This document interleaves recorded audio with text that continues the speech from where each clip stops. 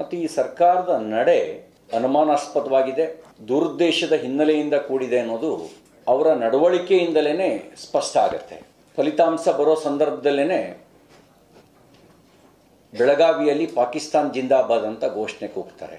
ಬೆಳಗಾವಿ ಉತ್ತರ ಕ್ಷೇತ್ರದಲ್ಲಿ ಕಾಂಗ್ರೆಸ್ನ ಫಲಿ ಗೆಲುವು ಕಾಲುವು ಖಾತ್ರಿಯಾದ ತಕ್ಷಣವೇ ಅಲ್ಲಿ ಗೆಲುವನ್ನು ಸ್ವಾಗತಿಸಿದ್ದು ಭಾರತ್ ಮಾತಾ ಕಿ ಜೈ ಅಂತ ಅಲ್ಲ. ಕಾಂಗ್ರೆಸ್ ಜಿಂದಾಬಾದ್ ಅಂತನೂ ಅಲ್ಲ.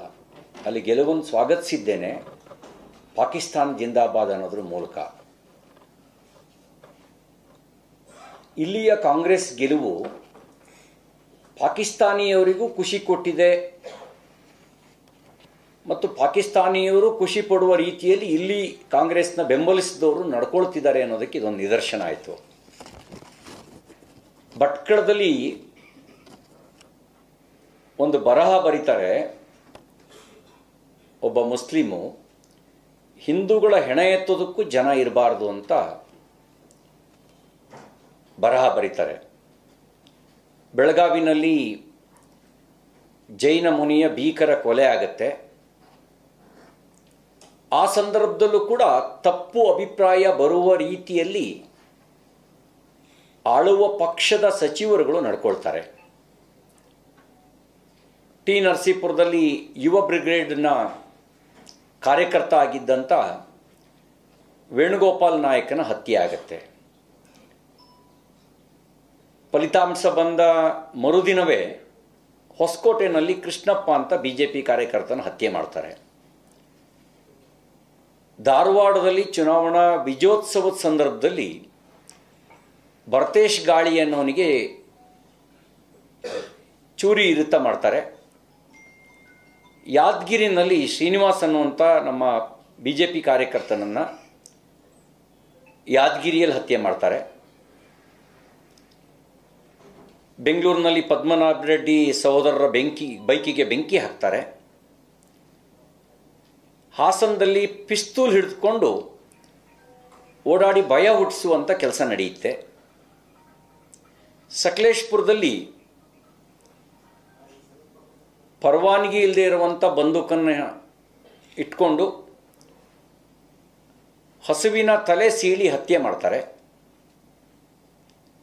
ಕಡೂರಿನಲ್ಲಿ ವಿಘ್ನೇಶ್ ಅನ್ನುವಂಥ ಬಿ ಜೆ ಪಿ ಕಾರ್ಯಕರ್ತನ ಮೇಲೆ ಹಲ್ಲೆ ಆಗತ್ತೆ. ನಂಜನಗೂಡಿನಲ್ಲಿ ಪ್ರಸಾದ್ ಅನ್ನುವಂಥ ಯುವಕನಿಗೆ ಚಾಕುವಿನಿಂದ ಇರಿದು ಹಲೆ ನಡೆಸಿ ಪರಾರೆಯಾಗ್ತಾರೆ. ಬಾಗಲಕೋಟೆ ನವನಗರದಲ್ಲಿ ಬೀದಿ ದೀಪಗಳನ್ನು ಬಂದ್ ಮಾಡಿ ಬಿ ಜೆ ಪಿ ಬೆಂಬಲಿಗರಾಗಿರ್ತಕ್ಕಂಥ ಸುರೇಶ್, ಪ್ರವೀಣ್, ಶುಭಂ ಇವ್ರ ಮೇಲೆ ಹಲೆ ನಡೆಸ್ತಾರೆ. ಕುವೆಂಪು ಅವರು ಕರ್ನಾಟಕವನ್ನು ಸರ್ವಜನಾಂಗದ ಶಾಂತಿಯ ತೋಟ ಅಂತ ಕರೆದರು. ಕುವೆಂಪು ಅವರ ತವರು ಜಿಲ್ಲೆಯಲ್ಲೇ ಮತಾಂಧ್ರ ಅಟ್ಟಹಾಸನ ಮೆರೆಯೋದಕ್ಕೆ ಅವಕಾಶ ಕೊಟ್ಟಿದ್ದಾರೆ.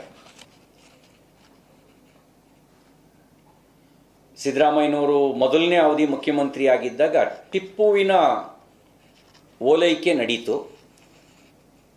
ಟಿಪ್ಪು ಜಯಂತಿಯನ್ನು ಸರ್ಕಾರವೇ ಆಚರಿಸೋದಕ್ಕೆ ಪ್ರಾರಂಭ ಮಾಡಿದ್ರು. ಬಹುಶಃ ಸಿದ್ದರಾಮಯ್ಯನವರು ಮತ್ತು ಡಿ ಕೆ ಶಿವಕುಮಾರ್ ಅವರ ಸ್ಪರ್ಧೆಯಲ್ಲಿ ಸರ್ವಜನಾಂಗದ ಶಾಂತಿಯ ತೋಟಕ್ಕೆ ಆ ಶಾಂತಿನ ಹಾಳು ಮಾಡೋದಕ್ಕೆ ಒಬ್ಬ ಟಿಪ್ಪು ಸಾಕಾಗಲ್ಲ ಅಂಥೇಳಿ ಟಿಪ್ಪುವಿನ ಜೊತೆಗೆ ಔರಂಗಜೇಬನನ್ನು ವಿಜೃಂಭಿಸೋದಕ್ಕೆ ಇಲ್ಲಿ ಅವಕಾಶ ಮಾಡಿಕೊಟ್ಟಿದ್ದಾರೆ. ಅಂದರೆ ಮತಾಂಧರನ್ನು ಮೆರೆಸುವ ಕೆಲಸಕ್ಕೆ